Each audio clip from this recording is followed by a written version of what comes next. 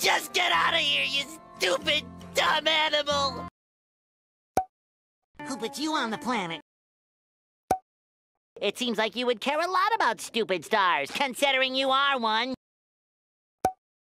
Your fault? Your nose is big enough to be Donald Trump's cock. Conehead! Shut your mouth, you mediocre clarinet player.